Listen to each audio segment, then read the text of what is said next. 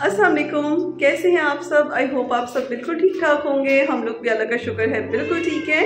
और आज की वीडियो बहुत ही मज़े की वीडियो है लेकिन वीडियो स्टार्ट करने से पहले जल्दी जल्दी जाएँ भाग के और मेरे चैनल को सब्सक्राइब करें। सब्सक्राइब लाजमी कीजिएगा और बेल आइकन को भी लाजमी दबा तो अगर आप लोगों ने अब सब्सक्राइब कर लिया है तो अब हम वीडियो को स्टार्ट करते हैं। और आज की वीडियो है Persian cats versus stray cats so क्या क्या बेनिफिट्स हैं? क्या क्या आपको इसके एडवांटेजेस होते हैं पर्शियन और स्ट्रे कैट्स के?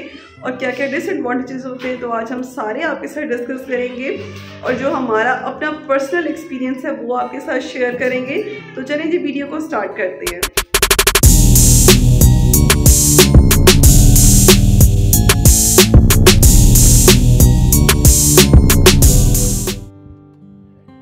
आज की वीडियो में हम लोग आपको बताएँगे कि अगर आप लोग इंटरेस्टेड हैं कैट्स लेने में बाई करने में तो आप लोगों को कौन सी कैट्स लेनी चाहिए? हर चीज़ आपके साथ हम लोग अपना पर्सनल एक्सपीरियंस शेयर करेंगे। आगे आप लोगों की अपनी मर्ज़ी है। कैट्स तो जो भी हों, सभी बहुत प्यारी होती हैं। चाहे आप स्ट्रे रखें या आप जी अस्सलाम वालेकुम। उम्मीद है आप सब खैर वफियत से होंगे। आज का टॉपिक जो है बड़ा ही ज़बरदस्त किस्म का है। आज का टॉपिक है जी stray cat versus Persian cat तो वीडियो शुरू करते हैं। बहुत सारे लोगों का ये क्वेश्चंस होते हैं कि हमें कौन सी कैट रखनी चाहिए। पर्शियन ज़्यादा अच्छी है या स्ट्रे कैट लेना ज़्यादा अच्छा है? लोगों लिए हमारी कोई पहली स्ट्रे कैट नहीं है। हमारे पास पहले भी नहीं है स्ट्रे कैट्स और इवन हमारे पास फ़र्स्ट कैट भी स्ट्रे कैट थी। तो ये हमारा जो ओवरऑल हमारा आई थिंक फाइव इयर्स का सिक्स इयर्स का ये एक्सपीरियंस है जो हम लोग आपके साथ आज शेयर करने लगे हैं। तो सबसे पहला फ़ायदा और जो नुकसान होता है, वो ये होता है कि जो पर्शियन कैट्स होती हैं, उनका हेयर फॉल बहुत ज़्यादा होता है। नो डाउट स्ट्रे कैट्स का भी हेयर फॉल होता है। हम ये नहीं कह सकते कि इनका हेयर फॉल नहीं होता लेकिन इनका कंपेरेटिवली बहुत कम होता है। पर्जन्स की नस्बत क्योंकि पर्शियन कैट्स होती हैं इनके बाल ज़्यादा बड़े होते हैं और ख़ासतौर पे गर्मियों के वेदर में इनका हेयर फॉल बहुत ज़्यादा होता है। तो पहला तो एडवांटेज और डिसएडवांटेज आपका ये काश आप देख पाते हैं कि नीचे क्या हो रहा है। नीचे सारे के सारे हमारा शो देख जिस तरह आप हमारी वीडियो देख रहे हैं ना इस तरह बाकी भी सारे के सारे हमारी वीडियो देख है कैट्स तो हम दूसरा आते हैं जी दूसरे टॉपिक पे दूसरा जो है, वो ये है कि कैट्स की इम्यूनिटी पे। जो, ये जो स्ट्रे कैट्स होती हैं, इनकी इम्यूनिटी ना बहुत ज़्यादा स्ट्रॉन्ग होती है। इनके मुकाबले पर्शियन कैट के मुकाबले बहुत ज़्यादा इसकी स्ट्रॉन्ग इम्यूनिटी होती है। इम्यूनिटी बिल्कुल फुजैल से ही कह रहे हैं कि स्ट्रे कैट्स जो है, इनकी इम्यूनिटी जो है, वो पर्शियन कैट से ज़्यादा होती है। चाहे आप उसको अपने घर में भी पाल रहे हैं कायली बहुत छोटी सी थी जब हमारे पास आ गई थी, लेकिन कायली की इम्यूनिटी ज़्यादा थी अल्लाह ताला ने इनको थोड़ा सा स्ट्रॉन्ग बनाया होता है बाय नेचर अब जिस तरह का हमारे साथ ये रिसेंट इंसिडेंट हुआ है, मिनी वाला तो वही बॉल कायली ने खाया कायली ने निकाल दिया और मिनी उसको जो है ना सर्वाइव नहीं कर पाई, उसको खाने के बाद। तो इनके अंदर जो स्ट्रे कैट्स होती है ना इनके अंदर अल्लाह ताला की तरफ़ से ज़्यादा इम्यूनिटी और विल पावर होती है कि ये अपनी बीमारियों को फेस कर सके। और हाँ। और ये जो हमारे ये चूजे होते हैं ये बहुत सेंसिटिव चूजे इनको तो ये चूजा जो है ये बहुत एक्टिव चूजा है इसने सबको एक्टिव कर दी है। और चलो नेक्स्ट पॉइंट पे चलते हैं जी। थर्ड पॉइंट पे और थर्ड पॉइंट ये है कि स्ट्रे किटन्स जो हैं वो बहुत बहुत बहुत प्लेफुल होती हैं। पर्शियंस जो होती है ना जब वो किटन होते हैं तब वो एक्टिव होते हैं बहुत खेलते हैं। लेकिन जैसे जैसे वो बड़े हो जाते हैं वो लेजी हो जाते हैं लेकिन ये जो ब्रीड होती है ना ये माशाल्लाह जिस तरह हमारा बगीरा हमारा बगीरा बहुत ज़्यादा लेजी है लेकिन कायली ने उसे एक्टिव रखा है। क्यों बगीरा? अगर आपके पास पर्शियन कैट है ना तो आप स्ट्रे कैट लाजमी घर में लाएँ। स्ट्रे कैट से ये होगा कि आपकी पर्शियन कैट ना बिल्कुल एक्टिव हो जाएगी। वो स्ट्रे कैट उकसाती है बार बार ना पर्शियन कैट के कैट के पास जाके कि आओ मेरे साथ खेलो तो फिर वो पर्शियन कैट मजबूर हो जाती है खेलने के लिए। तो आप ये काम लाजमी कीजिएगा अगर आपके पास एक कैट है पर्शियन तो स्ट्रे कैट दूसरी लाइएगा ताकि आपकी पर्शियन कैट में खेलते रहे। हाँ बहुत सारे क्वेश्चंस होते हैं कि क्या हम स्ट्रे को और पर्शियन को साथ रख सकते हैं बल्कि ये तो बहुत अच्छी बात है। अगर आपके पास पर्शियन कैट्स हैं तो आप एक ज़रूर स्ट्रे कैट भी अडॉप्ट करें। वो इतनी प्लेफुल और एक्टिव होती है कि वो आपकी पर्शियन कैट को आज की वीडियो की एक और चीज़ बड़ी मज़ेदार है, आपको एक और फ़ायदा हो रहा है आज की वीडियो से, कि आपको ना तरह तरह की हमारी कैट्स देखने को मिल रही हैं। बगीरा भी आ रहा है, कभी मोनी आ रही है, कभी कोई आ रहा है, कभी कोई आ रहा है। आगे आप मज़ीद और कैट्स को देखेंगे हमारे साथ। अच्छा जी, अब आ गए हैं जी स्कूबी साहब और साशा मैडम।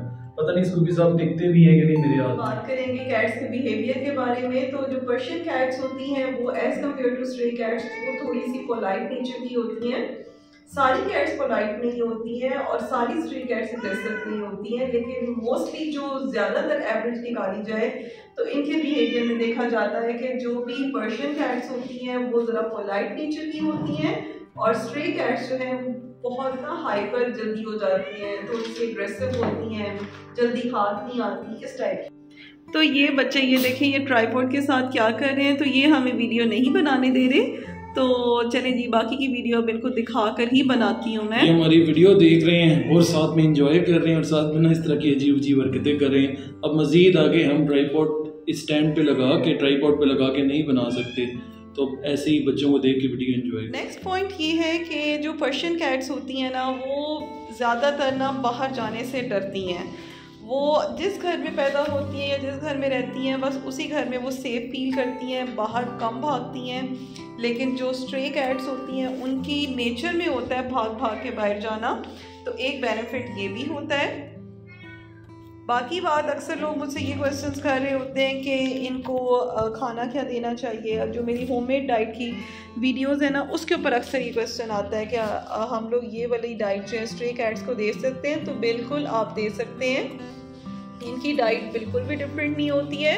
स्ट्रे कैट होगी या पर्शियन होगी, खाना आपने एक जैसा ही दोनों को देना है। बाकी इनकी ग्रूमिंग करना, इनके नेल्स कट करना एयर क्लीनिंग करना, नहलाना, सब कुछ सेम ही होता है। बस बात ये होती है कि जो पर्शियन कैट्स को थोड़ा सा मेंटेन करना थोड़ा सा मुश्किल होता है।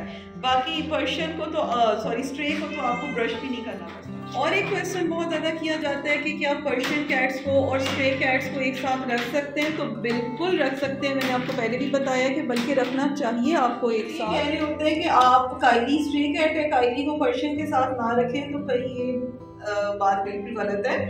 आप रख सकते हैं और बल्कि आपको रखना चाहिए ताकि आपकी जो पर्शियन कैट्स हैं वो भी एक्टिव रहें। जैसे कि हमारी माशाल्लाह से बहुत एक्टिव हो गई हैं कायली के आने से।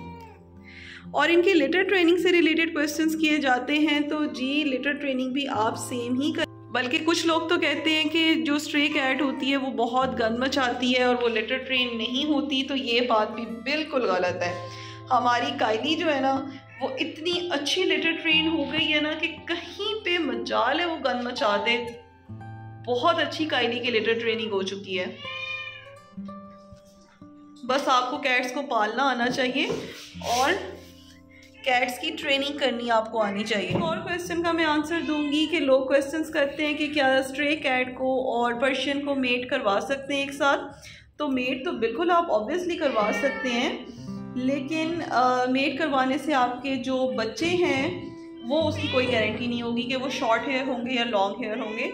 वो मदर या फादर किसी पे भी जा सकते हैं। और सबसे लास्ट पॉइंट जो मैं आपके साथ शेयर करना चाहूँगी कि जो स्ट्रे कैट्स होती हैं, वो बहुत एक्सप्रेसिव होती हैं। वो अपनी फीलिंग्स बहुत अच्छे से एक्सप्रेस करती हैं। जैसे कि मिस मैगी है, ये हमसे हद से ज़्यादा प्यार करती है, पर एक्सप्रेस इसको नहीं करना आता। लेकिन काइली को बहुत अच्छा एक्सप्रेस करना आता है। तो आई होप आपके सारी क्वेश्चंस के आंसर हाय हाय। आज देख लिया आपने खुद ही कि कितनी नफरत करती है। माशाल्लाह टॉफी? मार पड़ थी उसे। कैली ने भी मार। सो कंक्लूजन ये है कि अगर आप मुझसे पूछें कि हमें कौन सी कैट रखनी चाहिए स्ट्रे या पर्शियन तो भाई सब कैट्स बहुत प्यारी होती हैं बहुत ही ज़्यादा प्यारी होती हैं। सिर्फ़ मैं उनकी नेचर की बात नहीं करी मैं लुक्स की भी बात कर रही हूँ। जितनी मेरी पर्शियन कैट्स प्यारी हैं कायली भी उतनी ही हसीन है। और आप कोई भी रख सकते हैं, बल्कि अगर आप रखेंगे ना स्ट्रे कैट रखेंगे तो वो बहुत ज़्यादा फ्रेंडली होती है, उसकी इम्यूनिटी अच्छी होती है, उसकी इतनी ग्रूमिंग नहीं करनी पड़ती, उसका हेयर फॉल कम होता है, आगे आपकी चॉइस है। सो आई होप आपको वीडियो अच्छी लगी होगी, और अगर अच्छी लगी हो तो वीडियो को ज़रूर शेयर कीजिएगा फैमिली फ्रेंड्स के साथ। मिलेंगे इंशाल्लाह नेक्स्ट वीडियो में, अपना बहुत ख्याल रखिएगा। अल्लाह हाफिज़।